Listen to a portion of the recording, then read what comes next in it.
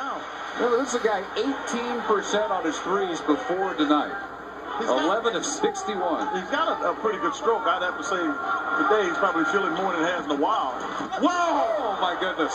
Mr. Davis is up there waiting on it to come off. Out of nowhere. Looking at Rucker and thinking, boy, if he doesn't hesitate. It's academic.